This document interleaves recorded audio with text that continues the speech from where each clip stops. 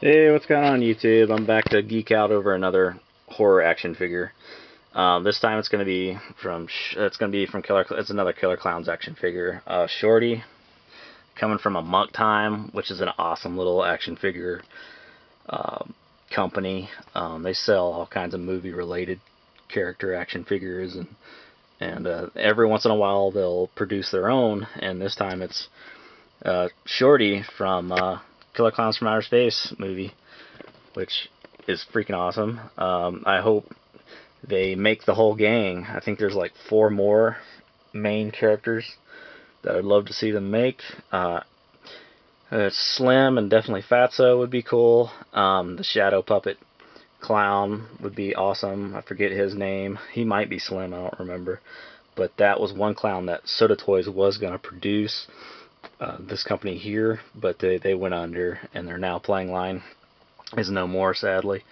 Uh, but Soda Toys picked up the Killer Klowns license, and now they're starting to produce these clowns, which is great. Uh, I definitely support them because if not very many people support, you know, a, a, small company like that, you know, that's not as big as NECA or McFarlane, we're just not going to see characters like this get produced. So I definitely do support them, and I hope they continue with their cult classic character making line. They're, uh, ah, I think they're, this line is called Monstars, I believe.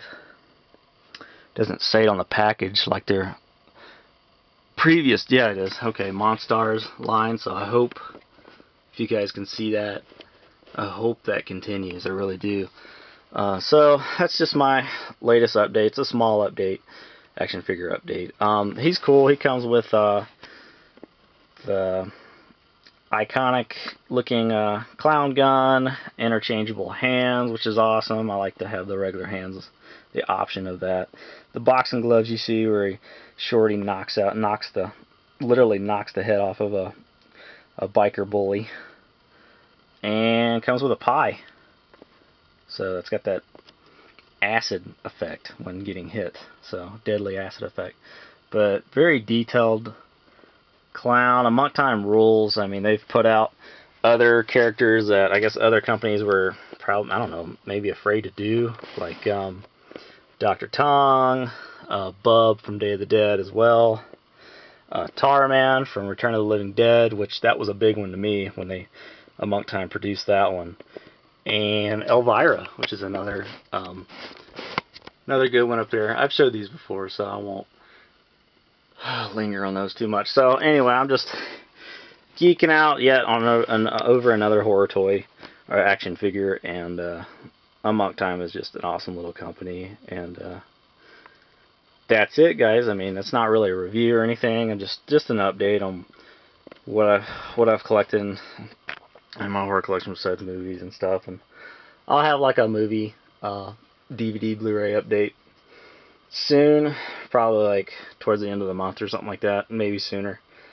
I don't know. I'm kind of waiting on some movies I've been wanting for a while in my collection that don't that don't you know come out until towards the end of the month. But I don't know.